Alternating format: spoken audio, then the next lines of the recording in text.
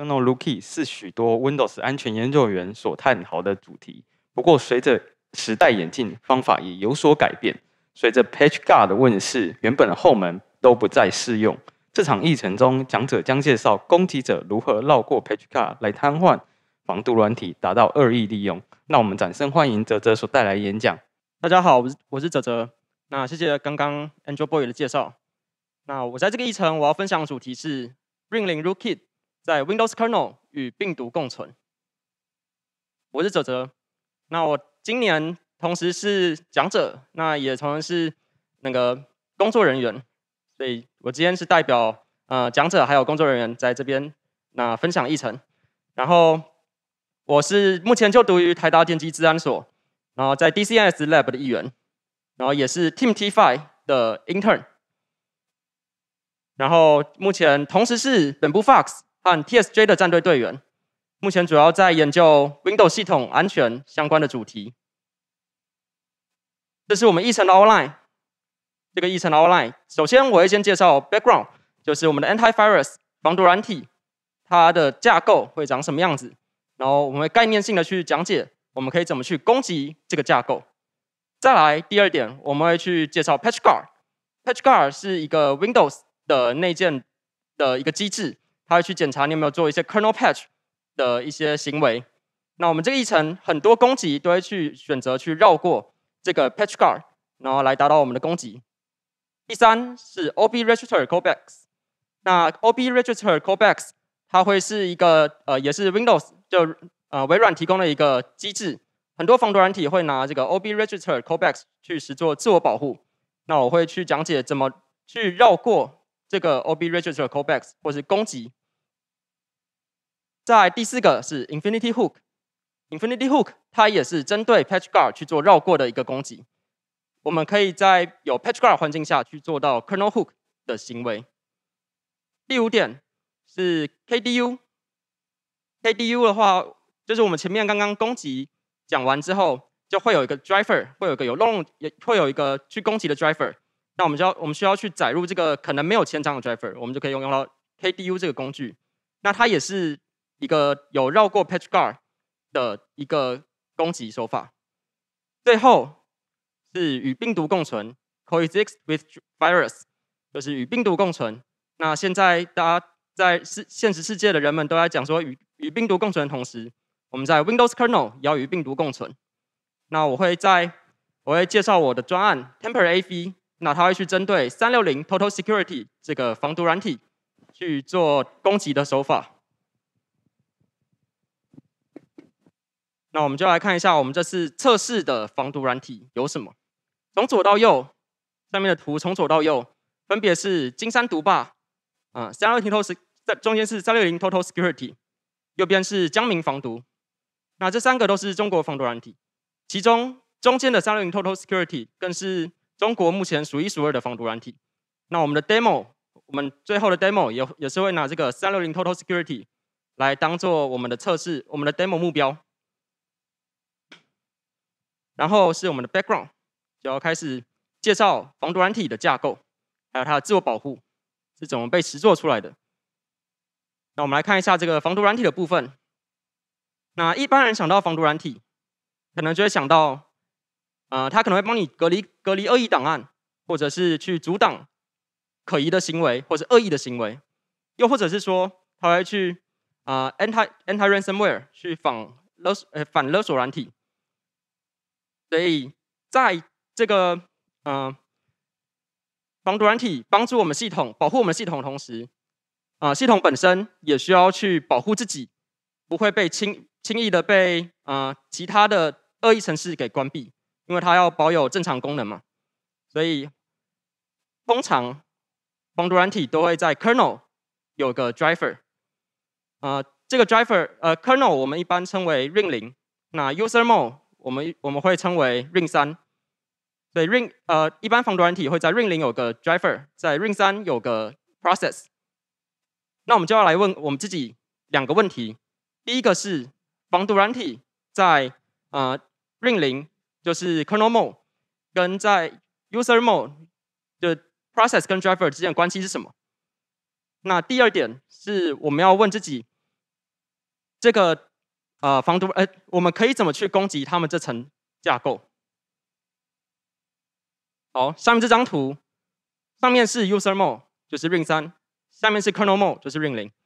那呃，防毒软体在 user mode 有个 process，在 kernel mode 有个 driver。那防毒软体它其实就是它的 process 会去收集一些在 user mode 的一些资讯。那收集到的这些资讯，或者是从远端来的指令，又或者是可能是我们使用者在这个界面上去点点点，然后就就是也会传送一些指令。那这些资料就会去会去到那个 kernel 的 driver，把资料传到 driver 中。那 driver 也是 driver 也是会传会在 kernel 层可能去做一些侦测阻挡的行为，然后会把资料传到传回呃 antivirus 的 process。那同时，自我保护也是在这个 kernel 中去被实做的。在这个 user mode 防毒软体在 user mode 和 kernel mode 其实都是会去做呃对这些 process 其他 process 去做侦测的行为。那假设今天这个 process 中出现了一个 malware，它出现了一个 malware，那这个恶意程式也就是 malware，它尝试的去存取呃防毒软体。那会发生什么事？啊，结论上是会被 access deny，会被拒绝访问的。为什么？因为啊，有就是防毒软体，它有在 kernel 实做自我保护机制，也就是说，malware 没有办法，它在呃 user mode 层，它没有办法去直接的对防毒软体造成危害。对，因为 kernel 的权限比较大。但是呢，有个情况。假设 malware 今天也在 kernel mode 出现了，就是我们的 malware，就他们的 malware 攻击者，他在他取得了 kernel 的执行权，那这个这个时候情况就不就不太一样了。这时候在 kernel 恶意程序恶意程序可以在 kernel 去攻击这个自我保护机制，然后上面的 access deny 就变成 access allow 了，就是我们的 malware 就是可以去啊成功的存取到。anti antivirus 就防毒软体的 process 的 handle。好，那以上到这边为止，其实就是啊有些概念性的解说。那你说道理我都懂，那到底要怎么做呢？所以我们就要来具体的实做，告诉大家刚刚讲的这些概念是要有没有办法是怎么被实做出来的。所以我们要先来介介绍一下这个 Patch Guard。要先来介绍这个 Patch Guard 的机制，因为整个议程有很多攻击都需要去绕过这个 Patch Guard 机制。Patch Guard 全名叫做 Kernel Patch Protection。呃，顾名思义，它就是去针对 Kernel Patch。就你在你如果有改 Kernel 的东西，你 Patch 了 Kernel，那这个 Kernel Patch Protection 就会去侦测到这个东西，然后并且产生 BSOD，就是我们的所呃我们所说的 Crash 或是蓝屏。这个机制是在 x64 的 Windows Windows XP 和 Windows Server 2003之后才有的机制，所以在这个版本这些版本之后就没有办法。就如果你对一些你做一些 kernel patch 被 patch guard 侦测到了，那你就会 BSOD，就是蓝屏或者说是崩溃，或又或者说是 crash。那我们来看一下，呃，patch guard 其实不是。直接去扫整个 kernel memory，它其实是有一定的保护范围的，所以我这边列了几点，这些呃这些保护范围其实是没有被公开的，就是没有被微软本身自己去公开，而是被研究出来的。那我这边列了很多，我们这边主要要注意的地方是 SSDT，为什么我们要特别注意它？因为我们后面的攻击，我们第四个章节的 Infinity Hook 就会去做到，嗯。Hook 相等于 Hook SSDT 的功效，但是又不是 Hook SSDT，这样子我们就可以绕过 Patch Guard 了。所以我们这边特别介绍这个 SSDT。那我们后面我会去简单介绍它。那你说 Patch Guard 这么强大，我们有我们有没有办法合法的去先先关闭它？可能我要测试一些东西，其实可以的。我们可以用 BCDEDIT，然后把测试模式打开，把测试模式打开。那这时候 Patch Guard 就被关闭了。那你说有合法的方法，当然会就会有非法的方法。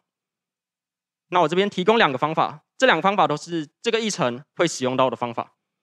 那第一个是 leverage leverage unprotected，就是呃攻击没有呃就利用没有被保护的范围。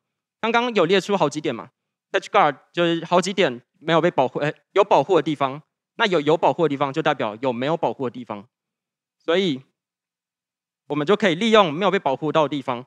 假设我们今天可以透过改那些没有被保护到的地方，来做到跟改保护有保护的地方相同的效果，那我们就等于是绕过了 patch guard。那右边是 restore after patch，那顾名思义就是去改完之后。然后做回复，嗯，Patch Guard 它其实不是一天到晚时时刻刻都在扫我们的我们的 kernel memory，它其实是有呃有一个周期的，但是是 random 的时间，就可能每一段时间它就会去扫你有没有去偷偷改这 kernel kernel kernel 的一些做一些 kernel patch，所以今天我们可以透过 patch 之后，patch 我们我们 patch 一些 kernel memory 之后，然后。把我们想做的事情做完，再把它改回去，那 Patch Guard 就不会发现。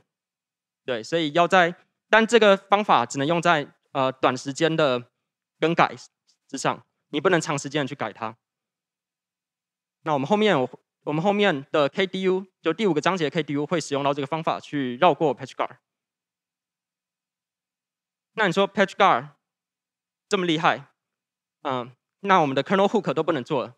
因为 kernel hook 其实也是，呃，也是一种 patch，它也是会去 patch 到 kernel 的 memory，所以现在已经不不能做到 kernel hook 的动作。因为在 patch guard 出现之前，patch guard 出现之前，防毒软体就很多防毒厂商其实都是透过 hook，呃，一些例如刚刚说的 SSDT 来做自我保护或是侦测，但现在都不能做了。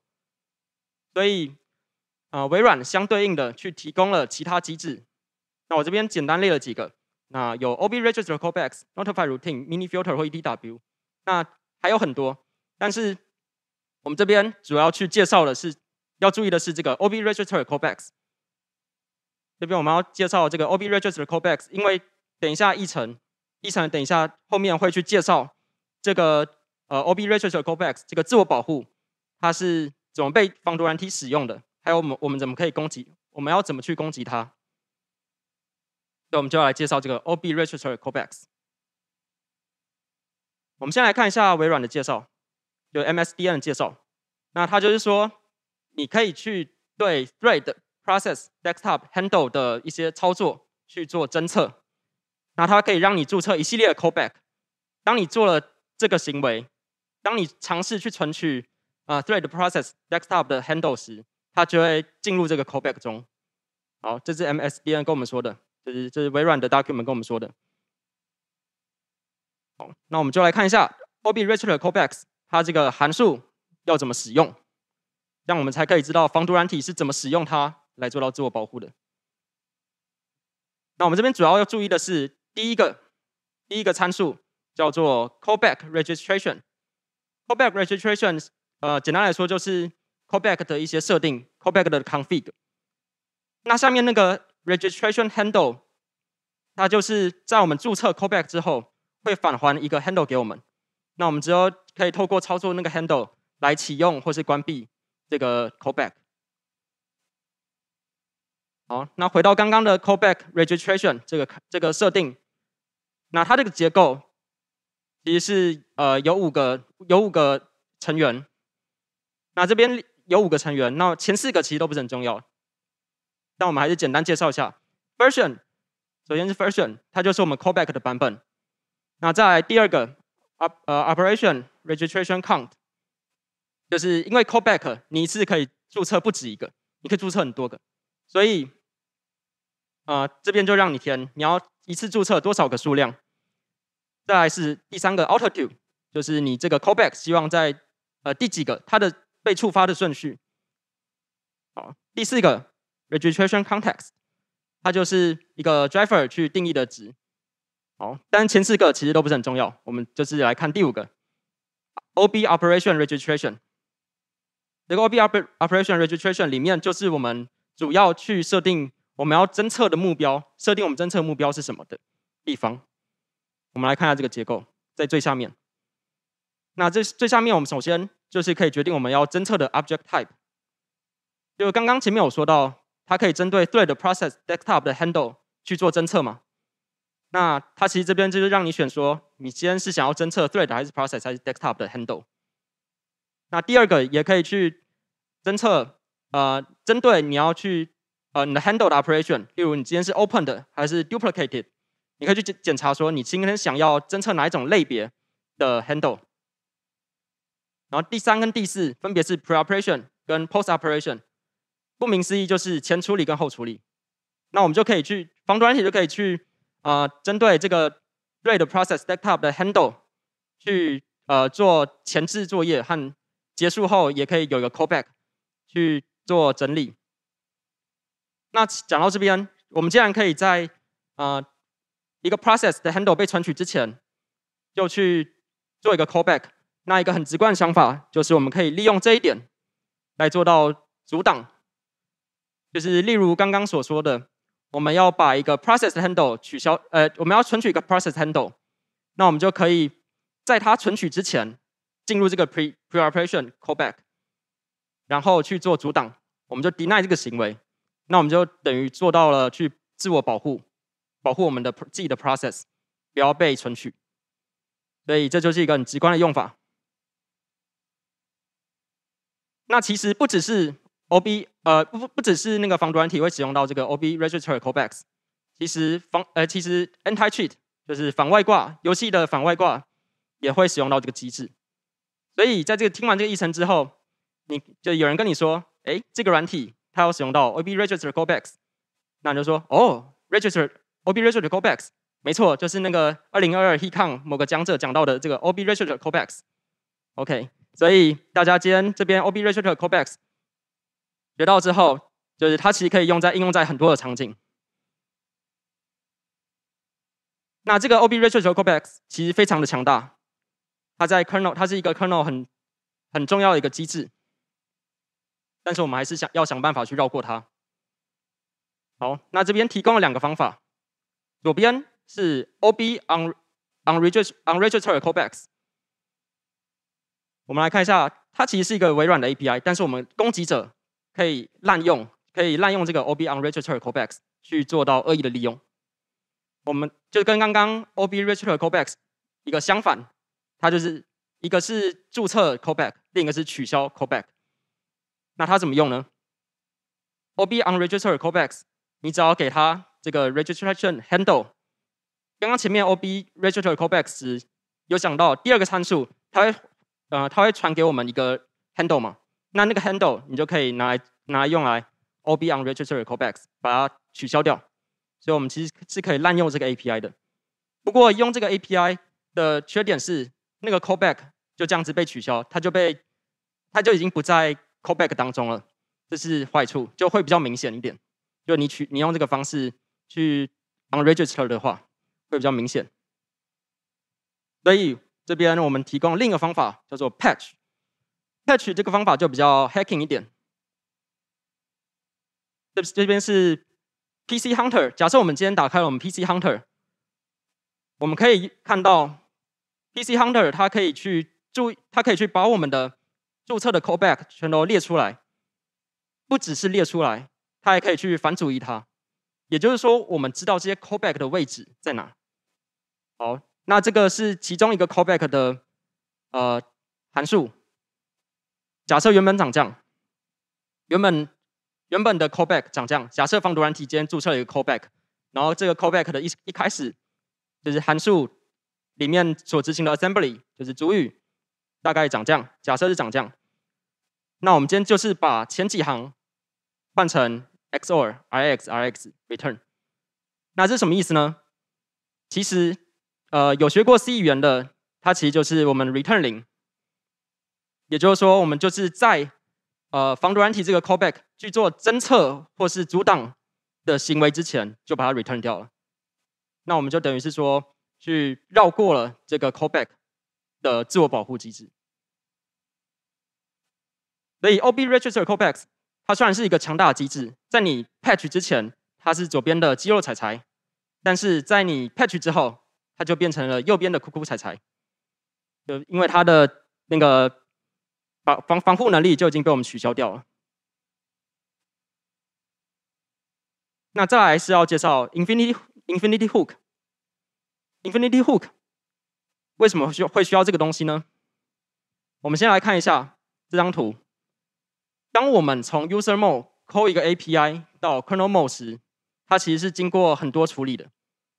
假设我们今天从最左边最左边那个 Kernel 三二点 DLL 开始，我们要呼叫 Create File 这个 API，那它其实 Kernel 三二点 DLL 的 Create File，它其实是呼叫 NTDLL 的 NT-write file。那在 NT-write file 中，呃，在 call 这个 N T R I F I L 时，它其实才是真正进入我们的 kernel。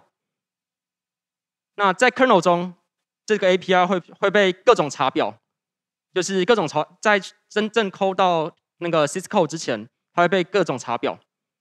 那最其中有个表叫做 SSDT，那也是前面刚刚很强调的一个 table。那在 PatchGuard 出现之前，啊，很多厂防毒厂商其实都是透过 Hook SSDT 来达到呃侦测或是阻挡的效果，但是在有 PatchGuard 之后，我们就没有办法做这件事了。对，因为 PatchGuard 会去，如果发现你如果 Hook 了 S SSDT，那它就会给你 crash，导致你的系统不稳定。于是我们就要来 Make Hook Great Again，让 Hook 再次伟大。那我们就来介绍这个 Infinity Hook，它是怎么做到 Hook SSDT，而且又不被 PatchGuard 侦测的。我把 Infinity Hook 分成六个小步骤。首先，第一个，我们要去找到 ETW Debugger Data Data 这个结构。那我们要怎么找到它呢？一开始从 N2S Kernel 点 exe 中，我们我们可以看到一个，我们可以去找到一个特征值。那找到这个特征值之后，这个位置所指向的结构就是我们的 ETW Debugger Data。所以第一个步骤很简单，就是找特征值，然后它的 pointer 所指向地方就是我们。在找的结构 ETW debugger data，那再来是 W My logger context，我们要去找到这个也是一样，是去找这个结构。刚刚的 ETW debugger data 在中间的上面，中间的这中间这个方块的上面，那我们在 ETW debugger data 加零叉一零的 offset 的位置，那它这个位置所指向的地方就是 ETW debugger data Zero，。在这个 ETW debugger data Zero 所指向的地方，再加零叉一零，就是 WMI 我们我们的目标 WMI logger context。好，那这边我们可以先记一下 WMI logger context，我们已经找到它了。第三个步骤，我们要找到这个 SSDT，因为后面会用到这个 SSDT 呃的位置，我们要透过它的。就一个位置是不是在这个 SSDT 中来判断我们是不是找到了 syscall？所以我们要找到这个 SSDT。那其实找到 SSDT 算是一个比较泛用的技能，而且要找到它其实是根据不同的，你要根据不同的版本，那会对应到不同的 offset。所以这边我们简只简单介绍，从 N2S kernel 点 xe 中去找 signature。那 signature 其实也是根据版本会有所不同。那我们找到这个特征值之后。它所指向的地方就是 S S S D T，那 S S D T 里面就是放存放着各个 syscall 的 address。好，那接下来第四点是我们的呃整个 Infinite Hook 的精髓，就是 Hook get CPU clock。还记得刚刚的 WMI logger context 吗？在最在最右下角有一个有有我们第二步第二个步骤找到的 WMI logger context。在这个结构，然后加一定的 offset，在 Win 七跟 Win 十一，我们要加零叉一八；在 Win 八到 Win 十，我们要加零叉二八。那在 WMI logger context 加零叉一八或零加叉二八这个位置，这个位置所指向的地方，就是我们的 get CPU clock。在最右下角那个格子，就是我们要准备 hook 的方选 get CPU clock。那我们已经找到它了，我们已经找到这个 function pointer 了。那我们要做的事情就很简单，就是去 hook 它。我们就 hook 这个 get CPU clock function，把它改成我们的自己的 detoured get CPU clock。detour 就是转道的意思，就是你去篡改这个 get CPU clock。好，那我们要在 get CPU clock 里面做什么呢？那就是我们的第五个步骤，找到 syscall。我们要去找到我们目标要 hook 的 syscall。那在我们的 detour get CPU clock 中，在我们篡改的 get CPU clock 中，我们要去找到我们的 syscall。那首先就是从 stack 中去找到两个 metric，去定呃透过两个 metric number 去定位出一个位置。那这个位置，我们继续往下找，我们继继续在 stack 中去去寻找，去找有没有符合在 SSDT 里面的位置。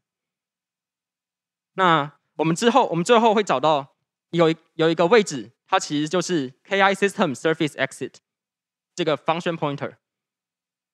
那我们把这个 KI System X 呃 K KI System Surface Exit 当做 index 零，那在 index 九的地方就是我们的 syscall function，就可能说刚刚说的可能这些呃，例如 NT create file、NT write file 之类的这些 syscall function。我们就可以去选择要不要去 hook 它。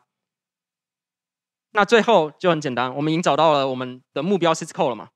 那我们要做的事情其实就是去把这个 syscall 变成我们篡改后的 syscall，所以就变得很简单，就去 hook 它，我们就把 syscall 转成我们自己想做的事情。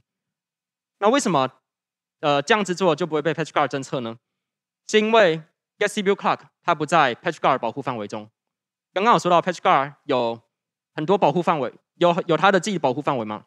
那这个 get CPU clock 其实就不在保护范围中，所以我们可以透过这个方式去 hook syscall。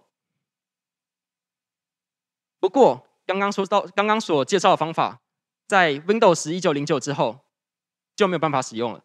原因是 get CPU clock 它不再是一个 function pointer，等一下会介绍它其实是一个 index，所以这相当于微软在跟我们说 you should not hook，它不让我们 hook 了。就是我们在最右下角这 get CPU clock，我们没有办法 hook，那怎么办？Make infinity hook great again，让 infinity hook 让 infinity hook 再次伟大。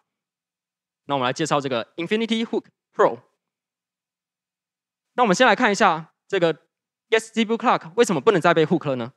因为在 Windows 一九零九之后，这个 get CPU clock 它不再它不再是一个方选，而是一个 index，这导致说。呃，我们没有办法直接去改 get CPU clock 这个 function pointer，改成我们自己的篡改后的 function。对，所以它现在是个 index。那根据不同的 index，它会执行不同的 function。那假设，那我们这边只要呃主要要去注意的事情是，呃要去注意的 index 是第二个，第二个呃 timer query host performance counter。但是我们也不是要去 hook 这个 timer query host performance counter，我们要 hook 的地方是这个 timer query host performance counter 里面的 hvl get qpc bias 这个函数。我们主要去要去 hook hvl get qpc bias。所以前面后面的步骤都不变，我们只变第四个步骤，我们不再是 hook get cpu clock，而是 hook hvl get qpc bias 这个函数。好，那我们就来看一下 hvl get qpc bias 里面我们要去怎么找到去我们要怎么找到这个函数？那一样 n2s kernel 点 exe 中，我们去找到特征值，我们去找到这个特征值，嗯，这个特征值所指向的地方 offset 加三就会是一个 int 的 pointer。那我这个 int 的 pointer a，哎，所指向的指所指向的 int a 再加七就会是。呃，我们 hvl get qpc bias 的呃的 function pointer，那接下来要做的事情很简单，就是去 hook 它，改成我们自己定义的 hvl get qpc bias。那其实后面的步骤跟前面一样，就是从 stack 中去寻找目标 syscall，然后再 hook 这个 syscall 就做到了。那放心，这边你们撑到这边，其实就已经把最复杂的部分听完了。后面就是我们只是要利用，所以前面听不懂没关系，我们只只要知道，哎，前面可能忘记了没关系，就是我们要主要知道的事情是，我们可以做到 kernel hook 了，我们可以 hook 在 kernel hook 了，那我们可以做在 kernel hook，就代表说我们可以去实做 kernel rookie。那我具体来说，我们要怎么实做 kernel rookie 呢？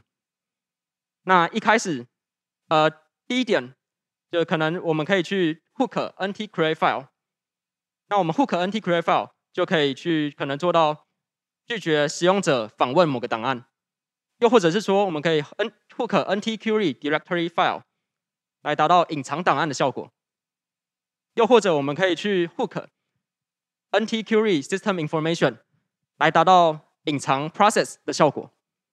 所以你只要能做到 kernel hook，你可以做到，你就你就等于把所有的 kernel API 都做 hook 了，就能够做这件事情了。所以我们就可以用这些方法来实做我们的 kernel rootkit。好，第五个章节是 KDU。我们刚刚讲了攻击方法嘛，我们会有一个攻击的 driver。那我们要怎么载入它呢？我们就要使用这个 KDU。我们先来接看一下 MSDN。呃，对千章这个微软的千章的介绍，在叉六四的 Windows Vista 之后，就是我们的 driver，微软规定说，我们的 driver 一定需要千章，我们才可以载入，没有千章就不让你载入。这是 MSDN，就是微软微软跟我们说的。所以，我们呃合法的方法去载入 driver 的方法，这边提供两个。那第一个是，就跟微软乖乖的跟微软缴钱，然后审核过后，它微软会给你个凭证，那你就可以用这个凭证去签你的 driver，那你的 driver 就有签章，就可以被载被正常的载入进去。那另一个合法的方法，其实没有介绍过，就是测试模式，你可以打开你的 test mode，那你的 patch guard 就会关闭，那你的呃 driver 也不需要正式的签章就可以载入了。所以 test mode 其实是一个很方便的，在我们做研究很方便的一个功能，有测试模式。那有合法的方法，就会有非法的方法。我们来，我这边介绍两个。第一个是 leaked certificate，就是泄露凭证。leaked certificate 有泄露凭证，就我们就有一些厂商会买签章嘛，他哎会买凭证嘛，会跟微软缴钱买东西。那假设今天这个微软的凭证弄丢了，就是他就是被可能被攻击者入侵，然后这个凭证被偷被偷走了。那也这边两张图是 Twitter，就是呃被偷，就有一间有一间厂商，某一间厂商凭证被偷走了，然后拿去签了一些他们自己的恶意程式，攻击者自己的恶意程式，让他们可以载入自己的程式，啊自己的 driver 恶意的 driver 啊。对那这是其中一个非法的方法。那另一个非法的方法，这边介绍的就是我们的第五个章节的主题 KDU，全名叫做 Kernel Driver Utility。那介在介绍这个 KDU 时，我们一定要去介绍这个 Driver Signature Enforcement，简称 DSE。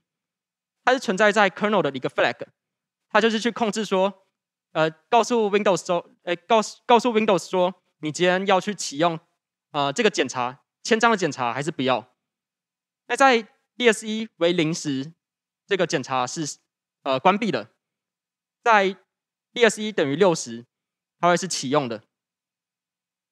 因为呃，所以这个六是一个预设值。一般系统打开 DSE，哎，打开之后 DSE 就是六。那八是测试模式。那这个 DSE flag 存在在哪里呢？在 Windows 八之前。它是存在在 N2S kernel 点 X1 中，但是在 C 呃在 Windows 八之后，它是存在在 CI 点 DLL 当中。所以不同版本你要做不同的事情。那 KDU 就这个工具就是去做透过呃有漏洞 driver，可能这个漏洞有漏洞 driver，它今天可以做到呃任意任意执行或是任意写入。那假设它可以做到这件事情，那我就可以去写入这个 DSE。把这个 DSE 可能把原本预设值六，把它改成零，那是不是那个检查签章检查就消失了？不过改这个 flag 之后，你要注意，你要把它改回来，不然呃 PatchGuard 是会侦测这个 DSE 这个值的。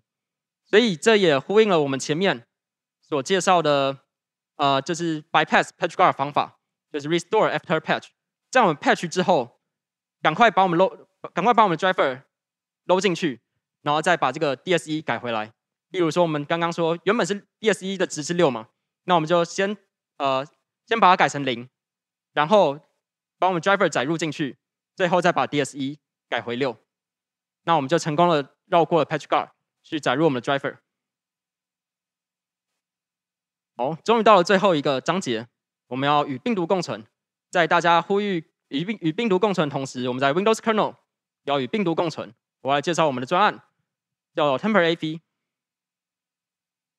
那我们来回想回忆一下，我们现在可以做到哪些事情？第一个，我们可以去 patch OB register callbacks 来做到让防毒软体自我保护失效的效果。第二个，我们可以去 hook。在 kernel 做 hook，而且不会被 page guard 侦测，那我们可以透过这点来实做我们的 rootkit。第三，我们可以载入我们的 driver，载入我们没有签章的 driver。我们可以做到这三件事情，那我们就可以完成我们的 TemperAV 的专案。这张图左边是 KDU，中间是我们 TemperAV 的专案，右边是三六零 Total Security 的 process 还有 driver。那我们就从最左边开始来看。一开始，KDU 会载入我们的呃 TemperAV 的 driver，接着，呃，我们的 driver 就 TemperAV 的 driver，它会去听从那个我们的 process TemperAV 的 process 送来的 IOCTL 指令。当 driver 收到指令之后，它就会去做攻击。那攻击的方法就是前面所说的 patch OB register callbacks。他把 Starling Total Security 的 pro 的 driver 提供提供给 process 的自我保护关闭了，呃，不是关闭，就是 patch 掉了，所以现在自我保护就失效了。保护失效意味着，呃，process 不再被保护，所以这时我们就可以去 DL injection 到这个 Selling Total Security process 中。那为了让一切的攻击更加隐匿，我们还可以。呃，用刚刚的 kernel Rookit 去隐藏隐藏我们的档案，还有让使用者拒拒绝使用者访问我们的档案。那我们这是整个攻击流程。那我们就来 demo 一下刚刚所说的这五个步骤。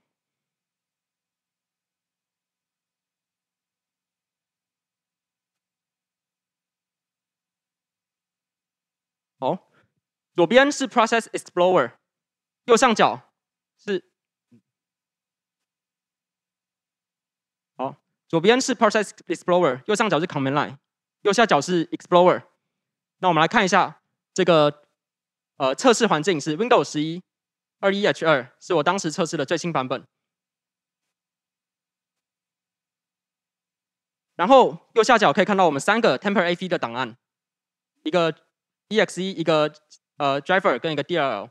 左边这个 QH 开头，这些其实就是啊 s a l a r y Total Security Process，就是防毒软体的 process。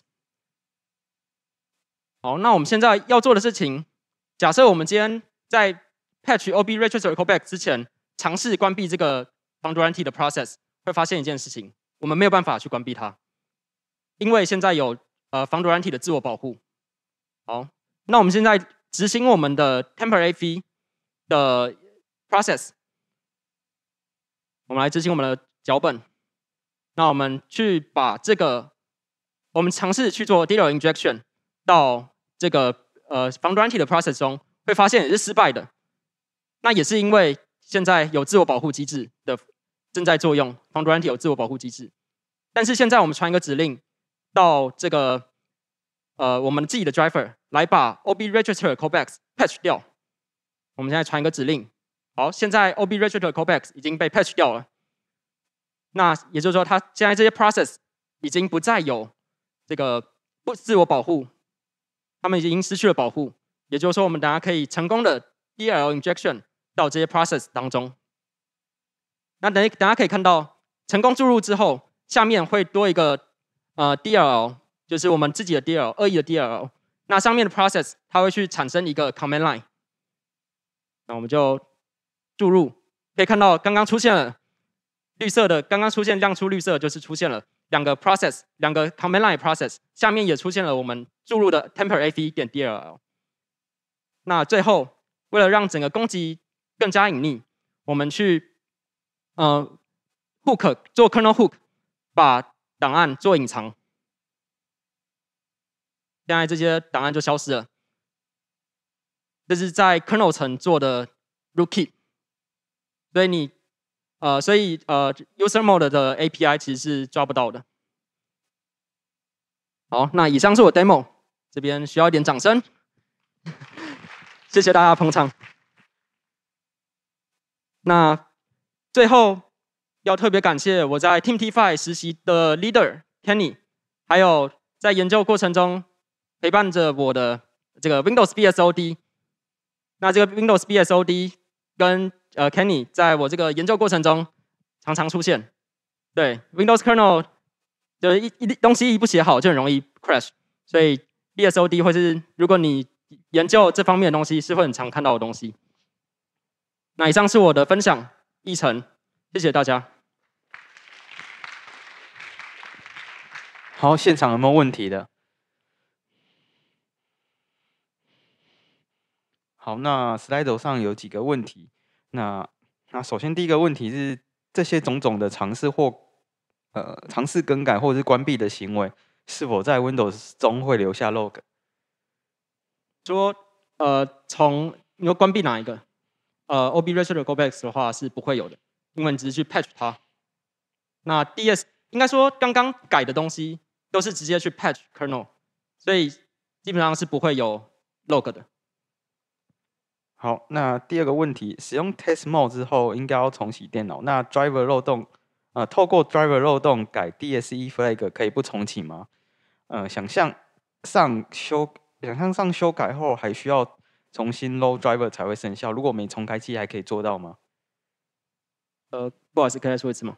呃，使用 test mode 之后，应该要重启电脑，但那透过 driver 漏洞改 DSE flag 的时候，还需要重启吗？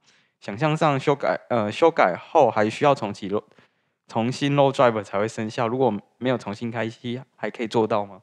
对，test mode 就是刚刚说到的测试模式，它是需要去啊重启整个系统，你才可以让它生效的。而且右下角还会有测试模式的浮水印。